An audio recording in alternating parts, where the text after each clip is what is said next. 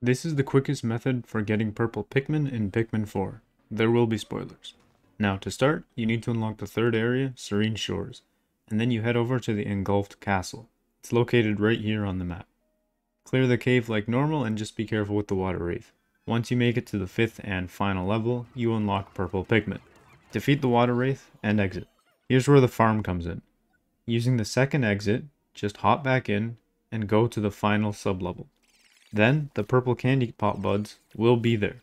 You can get another 10 purple Pikmin and then exit. And then you just keep doing this and repeat the process. You can get 10 purple Pikmin every single time. I got all the way up to 100 and then stop, but the candy pops keep spawning every single time, so you can keep going until you run out of blue Pikmin.